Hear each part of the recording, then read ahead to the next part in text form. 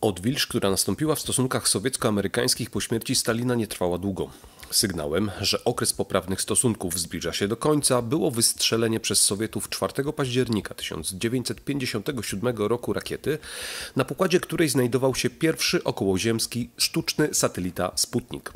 Stało się przez to jasne, że sowiecka technologia rakietowa dysponuje możliwościami przenoszenia głowic jądrowych na terytorium Stanów Zjednoczonych. Ówczesny prezydent Stanów Zjednoczonych, generał Dwight Eisenhower, bohater II wojny światowej, kładł duży nacisk na rozbudowę amerykańskiego potencjału militarnego, bo w nim upatrywał narzędzie do odstraszania agresywnej polityki sowieckiej.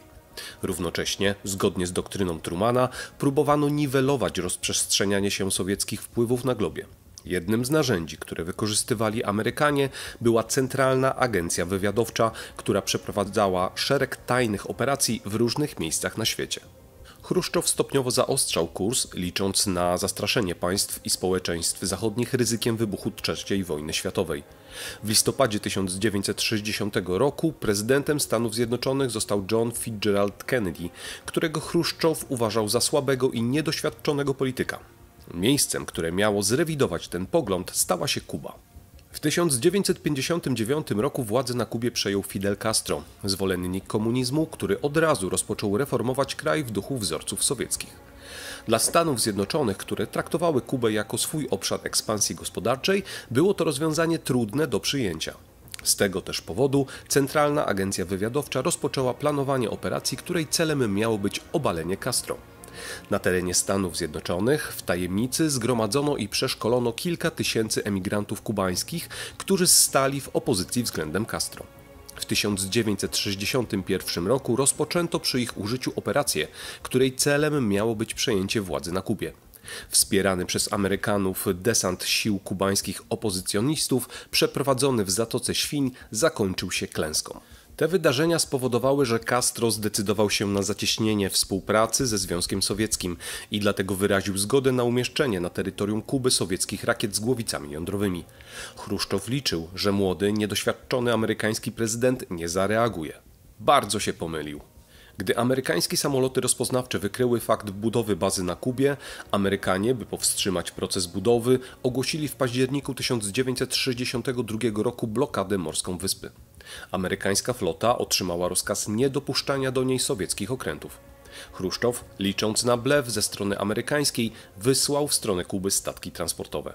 Świat stanął na krawędzi wojny, bo jakikolwiek strzał amerykańskiego okrętu w stronę sowieckiego statku mógł rozpocząć trzecią wojnę światową. Ostatecznie Chruszczow ustąpił, a sowieckie transportowce zawróciły. Instalacje na Kubie zostały zlikwidowane, a w zamian Amerykanie złożyli obietnicę wycofania swoich rakiet z Turcji oraz złożyli gwarancję bezpieczeństwa dla Kuby. Wydarzenia te przeszły do historii pod nazwą kryzysu kubańskiego. Jednym z jego efektów było założenie tzw. Tak gorącej linii, czyli bezpośredniego połączenia telefonicznego między Kremlem a Białym Domem. Po klęsce Francji w Indochinach powstały dwa państwa wietnamskie. Na północy rządzili komuniści Ho Chi a na południu wpływy francuskie zostały zastąpione przez wpływy amerykańskie.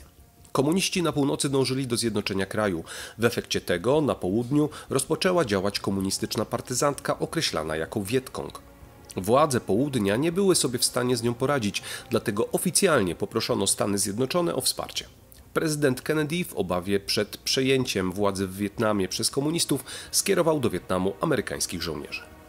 W 1968 roku liczba żołnierzy amerykańskich w Wietnamie sięgnęła pół miliona. Mimo tego nie byli oni w stanie pokonać sił komunistycznych działających w trudnym terenie.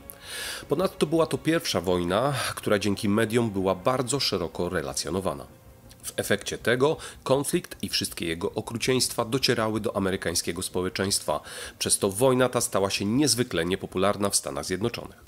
W 1970 roku prezydent Nixon rozpoczął wycofywanie amerykańskich żołnierzy z Wietnamu. Ostatni żołnierz wyjechał w 1973 roku, ale same władze Stanów Zjednoczonych obiecały udzielić pomocy władzom Wietnamu Południowego.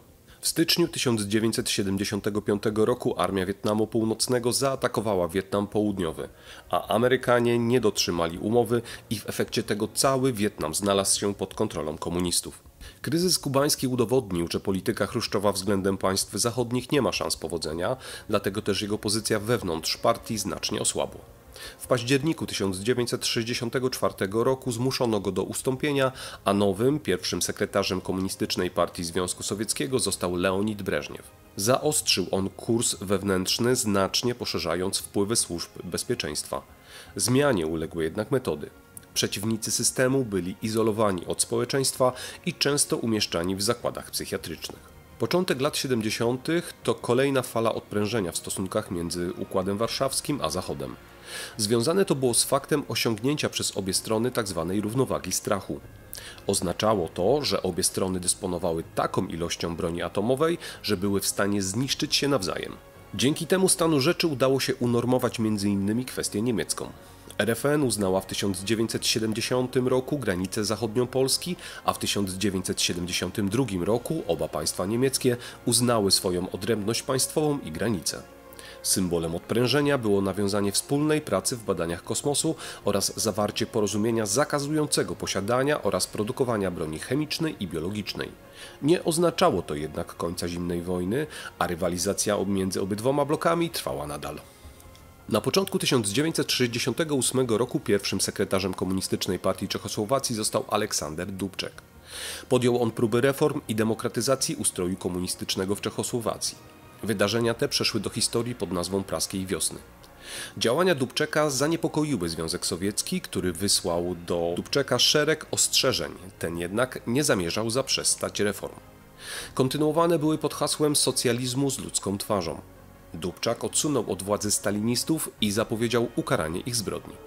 Zniesiono cenzurę, a wolna prasa coraz częściej zaczęła krytykować komunizm.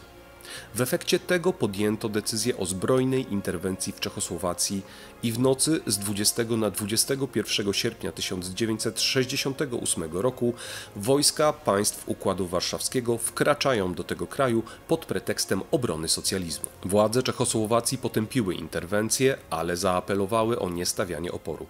Postawę bierną przyjęła również armia czechosłowacka. Mimo masowych protestów ludności, wojska Układu Warszawskiego zajęły cały kraj.